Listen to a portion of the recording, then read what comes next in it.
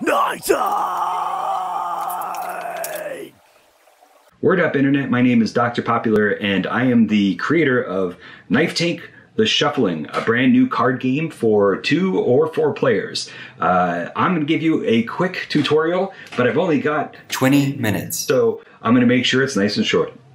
The object of Knife Tank is to try to be the first player to get your tank card from your side of the table to your opponent's side, or to destroy your opponent's tank. So there's two ways you can win the game, either by racing or through combat. Let's get started with what comes in the Knife Tank the Shuffling box. Uh, you have a choice of tank cards. Each of these cards is two sided, and the tanks have uh, different numbers on them indicating their health points and where the symbols are for the turret and the treads. So as you play the game, you'll find that some tanks feel like they move a little faster, some tanks feel like they move a little slower, but maybe have better reach or more health points.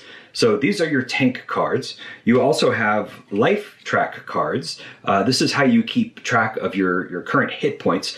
Uh, instead of uh, using a piece of paper or dice or anything like that, uh, if your tank starts off at three, you just keep the three uh, on the table facing you. And as you take damage, you rotate the card to two and then to one. When you get to zero, game's over. Uh, Knife Tank also includes damage cards. That's these guys right here. Uh, again, instead of using dice to determine how much damage is dealt, each uh, knife card is going to tell you what cards are necessary from the damage cards. Uh, so if you have a knife card that has uh, a stun, a one, and a two required on, on it, uh, what you would do is you take the stun, one, and two out of the damage cards. You'd shuffle them up right in front of the opponent. You can do it secretly, or you can try to psych them out with a magic trick. Uh, and then you have your opponent draw a card, and that's going to be the card that they they do their damage. So in this case, they got a stun card, which means that they won't be able to play a movement card during their next turn. So those are the damage cards. Finally, you get the action cards. Now, action cards are these cards with the uh, the yellow backs and the knife tank on them. Uh, there are different types of action cards. Uh, it breaks down into three types of action cards. You have knife cards. Uh, these are cards that, when you're close to your opponent's tank, you're going to actually play and try to try to stab them. Uh, you have movement cards. These are usually fixed where you can only go forward or backwards from your tank. They've got the symbols indicating where it lines up on your tank uh, and uh, a little arrow pointing to where your tank's going to go. And finally, you have special cards. These are cards like spin or drop or flick or blow. Uh, uh, toss. these are these are cards that are basically dexterity elements for the knife tank game. So those are the three types of action cards that you might have.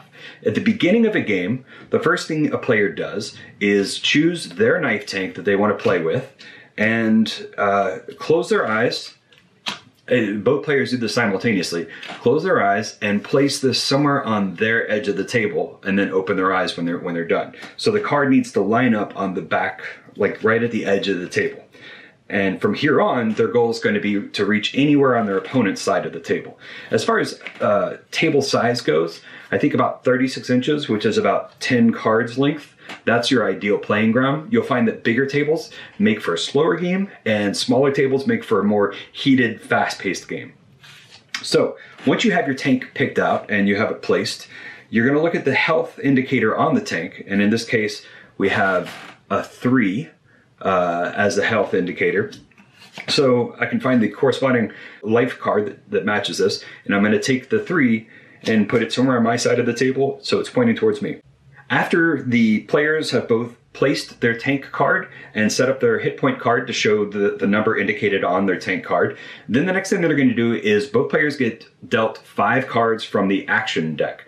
Uh, these five cards go into their hand, and during their turn, they can play two cards, and at the end of the turn, they drop back up to five. So you should always start a hand with five cards.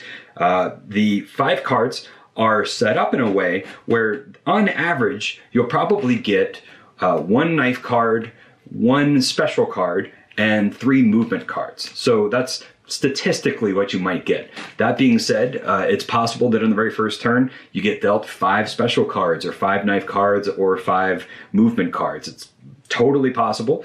Uh, there's there's nothing bad with that. Uh, if you ever think you have a terrible hand, you are allowed once per game to resupply your hand by discarding your hand and drawing five more cards from the deck. So here's how a turn happens in the game. Uh, both players are going to select two cards from their hand and place them face down.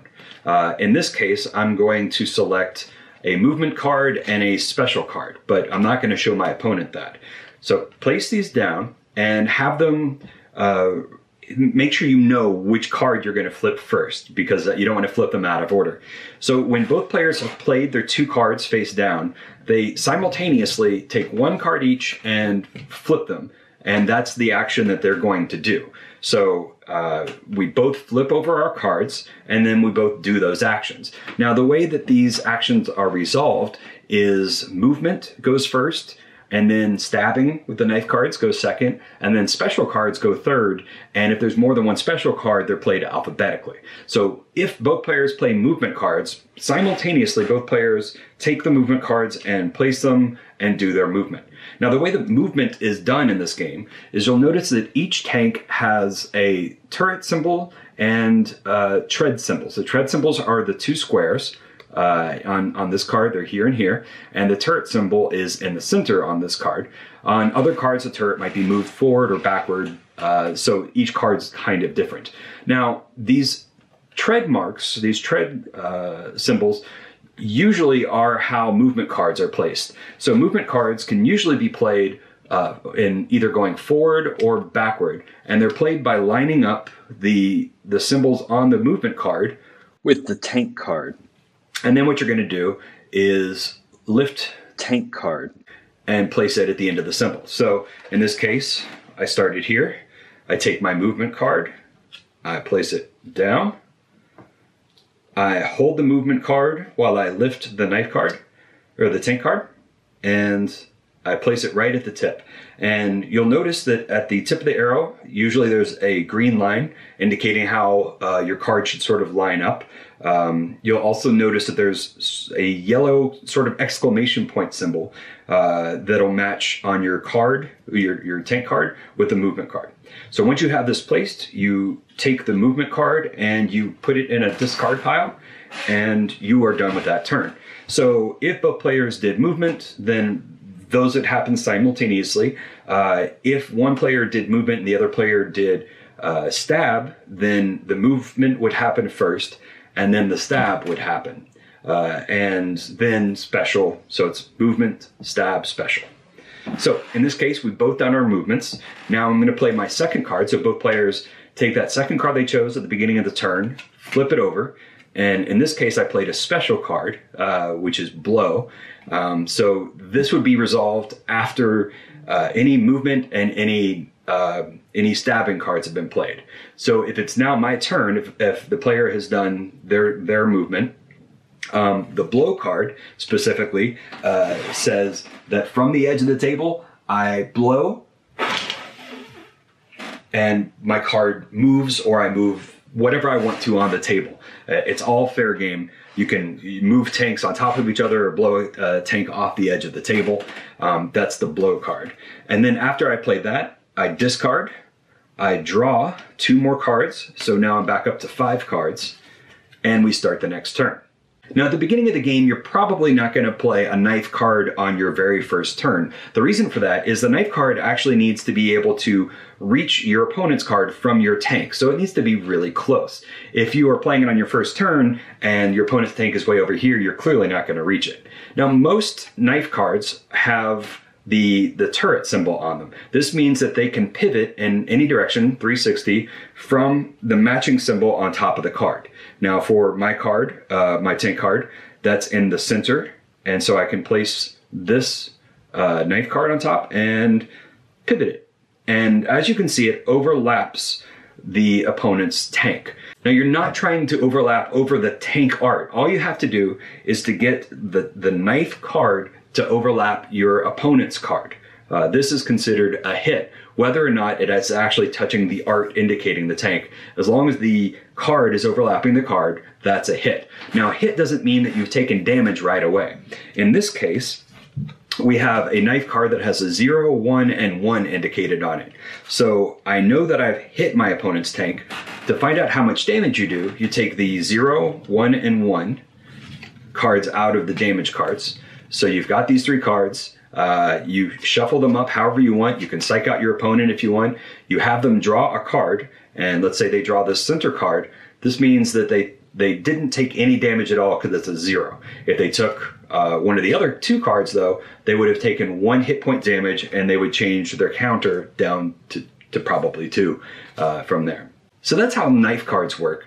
But it's also possible for tanks to do damage to each other by ramming. Now, when tanks ram, it just means that, that at the end of the movement turn, uh, the two tanks are overlapped. The two cards are overlapped.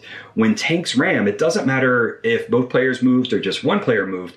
Both players have a chance of doing damage to the other player. Now, to find out how to do that, you just look at your tank card and their tank card. My tank card has a 0, 1, and 1 on it, which means, again, I take the 0, 1, and 1 and shuffle them up and have the opponent's tank draw one of these cards. Whichever card they take is going to be how much damage they take.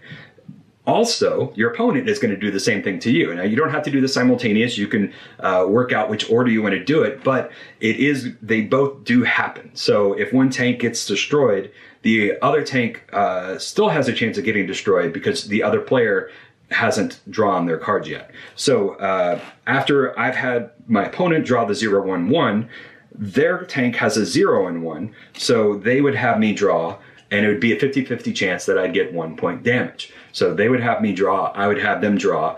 And you don't have to do that again for any more collisions. Uh, that only happens the first time you get overlapped on the uh, each other's tank. After that, you're allowed to move freely, or you can play knife cards. You can do whatever you want. Um, you don't have to worry about collision again until after the tanks have become separated for a turn. Now, after that's happened, if they then ram again, then you go through the process again of doing damage for both tanks and checking to see who survives.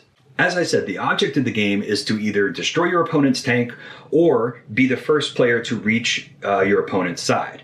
Let's say um, I was playing a very defensive game here, so my tank is still close to my side, and my opponent is right next to the edge of the table. They're probably going to want to play a movement card for their turn, uh, that will allow them to reach the edge of the table. And by edge, what we're looking for is the card actually has to be overlapping the edge of the table. But if the card falls off the table, they then restart the same way they did at the beginning of the game uh, by picking their card up from the floor, uh, bringing it back to their side, closing their eyes, and placing the card somewhere on their side of the table.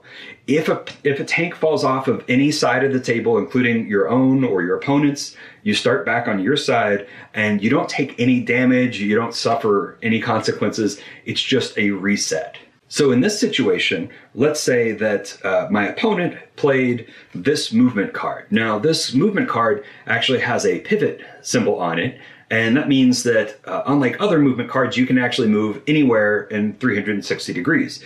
So they probably want to put this on top of their turret symbol and point it directly at the edge of the table and pick their tank card up, move it to the end of the arrow, and lift. Now, if they're really close, all you have to do is take a card and just move it. And if that card touches the tank, if it turns the tank, that means that they they've won the game because they've gone over the edge.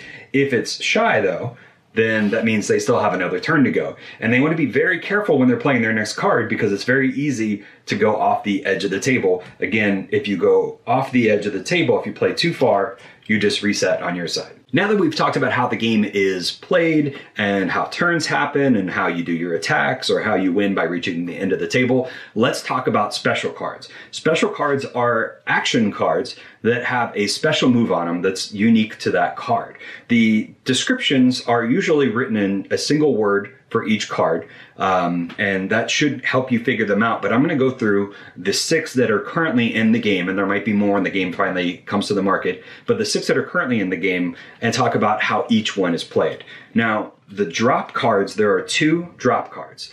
The object of this cards when played, is to drop them somewhere on the table that's not occupied by a tank.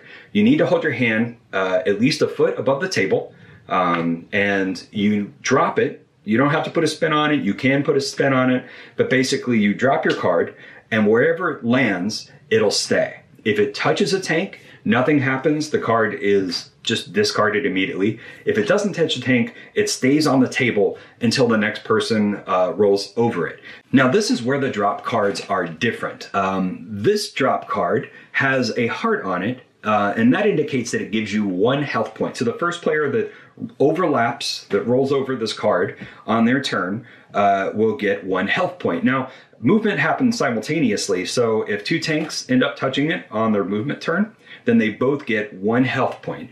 And this only goes up to four. So you can't have more than four health points no matter which tank you have currently. Um, so once once the tank has claimed the, the, the special bonus, this gets discarded and it's off the table. Uh, it stays on the table until someone rolls over it. Now, l- let's say an opponent ro- rolls over this landmine card. Um, this card has a chance of stunning, uh, doing zero damage or two. So you take out the stun, zero, and two cards, uh, and you shuffle them up and have your opponent draw one. Um, so that only happens if they overlap that card. If a tank at the beginning of its turn uh, is right next to that card and does its movement and somehow ends up on the other side of the card, um, they don't have to do this. This only happens if at the end of their movement turn they're overlapped on that on that card. Once you've rolled for damage and check and see how much damage they do, you then discard this drop card. Now, let's talk about stun real quick.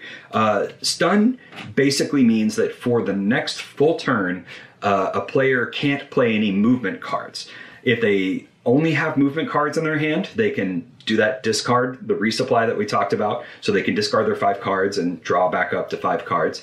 If they still don't have the cards they need, then they just won't be able to do that that turn. They won't be able to uh, play those cards for the next turn. So if they have one knife card and four movement cards, they can play that knife card, but then the whole next turn, the whole next move, uh, their opponent will be able to play an action card and they won't. So that's what the stun card does. Basically says you can't play uh, a movement card for the for the next two cards that get placed down. Now, if a tank gets stunned and there's still cards on the table to be flipped over, and one of those cards is a movement card, that still happens. It only takes place the next time that player who got stunned, the next time they place down cards, they can't place down movement cards. Continuing down the, the special cards, we have Flick. And the object of Flick is to place the Flick card on the edge of the table and to flip it and that was a miss. So I, uh, you don't get takebacks, but uh, let's just show that. There we go. So that's how Flick is played. Uh, it only does damage if it's if it hits the opponent's tank by landing on the opponent's tank or underneath the opponent's tank. So if this card flies over the tank, that's not a hit. A hit is only when the motion has stopped. If the cards are overlapping, then you check and see if there's a hit. In this case, it's a hit, so I do stun 1 1, and the opponent takes damage or gets stunned. The spin card is very similar to the drop cards. Um, the only difference is this is a one time card, it doesn't stay on the table uh, when it lands. You are trying to drop it from one foot, and you're trying to get it to land on your opponent's tank. If it lands, it's a hit. If it lands overlapping, if it misses the tank, nothing happens and the card just gets discarded. Toss is one of my favorite special cards. For this card, you have to stay away from the table and throw your toss card and you're trying to get it to land on your opponent's tank. Now, the key thing here is your hand's not allowed to cross over the table. So you have to do this all entirely behind the table. Uh, if your opponent thinks that you went too far over the table, they can call you on it and that's just gets discarded. Uh, so when you're doing your toss, you try to toss it, get it to land on your opponent's tank. If it lands, you roll for damage, and if it uh, misses the tank, uh, or if it lands on the tank and slides off, then it just gets discarded. Nothing happens. And we already talked about blow. This is another really fun card. Blow basically is uh, you discard the card, you bring your head close to the table from your edge of the table, and without crossing the table, your head can't be over the table. You blow in one single breath, and you can alter the table however you want. You're allowed to blow your tank really close to your opponent's edge, but remember, if you go off the edge, you start back on your side. Uh, you're allowed to blow, and two tanks might end up overlapping, at which point you do the general overlap rules for, for collision, where both tanks roll for damage. Uh, or you could even move a landmine. If there's a landmine or the health is on the table and you blow, maybe you end up uh, getting extra health points or blowing up your opponent's tank with a landmine that you blew onto them. So that's the blow card. Okay, a couple other uh, frequently asked questions. Once you have used up all the cards in the action deck, you then take the cards in the discard pile, you uh, shuffle them up, and you put them back down face down, and that's your action deck now. Um, if uh, a tank goes off the edge, like I said, it restarts back on their side, just like it did at the beginning. Um, the the player picks up their tank, closes their eyes, and places it somewhere on the table. Um, there's no pre-measuring in the game, so you're not allowed to put down a card and and check it out. You have to do it all by eye. Um, if you see a player getting really close, you can call them on it. This is all about like mentally judging the distance uh, and using your best guess on that. So you're not allowed to pre-measure anything.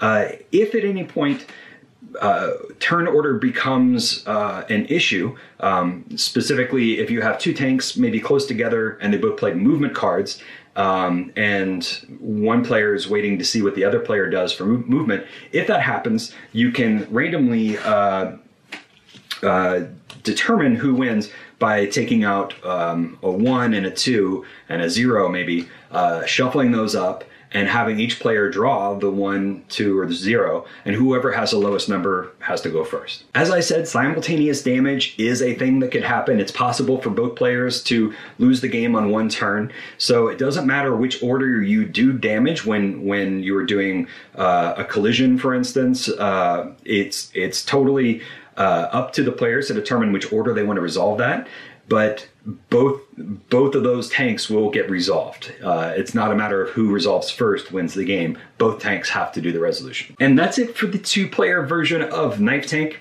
Uh, there is a four-player version as well, but like I said, I just ran out of time. Basically, the idea is you have two tanks on one side and two tanks on another. Uh, those tanks are on the same team and they're trying to score two points. You can either score a point by reaching the opponent's side or by destroying an opponent's tank. So if you destroy two tanks, uh, that is two points. Or if you get both cards to the end of the table, that's two points or any combination of. Now, once a card gets to the end of the table, they have to touch their side again before they're allowed to get a second point. The easiest way to do that is if you're at the edge of the table, play a move to fall off the table and start back on your side and then race back over again. Good luck scoring two points that way. I've never seen it. It could happen. If a tank gets destroyed in the four player mode, uh, that player is not out. They have lost, uh, well, the opponents have won uh, a point, but that player then closes their eyes and puts their tank somewhere back on the edge of the table. So basically, they get a second life. Just like with the one player version, for the four player version, cards are placed down and revealed. Uh, currently in the game, the, this is only done with um, players playing one card each. So you'll have four cards face down, and when all four cards are down, the players flip them, and all of those actions are resolved. And then players redraw back up to five and do it again. That's it for the knife tank tutorial. Um, again, I'm Dr. Popular. If you have any questions, you can look on Twitter and Instagram uh, for at knife tank, just the word knife tank. Um, I highly recommend you to uh, use the hashtag, hashtag knife tank when you're sharing photos of the game. Uh, I'd love to hear if you're having fun, if you have any questions, anything like that. Similarly, I am on Board Game Geek So uh, if you Google Tank, probably one of the top results will be the Board Game Geek uh, forum post for that. You can put any questions in there. I'll try to have frequently answered questions, frequently asked questions. I'll try to have frequently asked questions uh, up in my, my forum and I'll try to keep on top of those. Thanks so much. Cheers.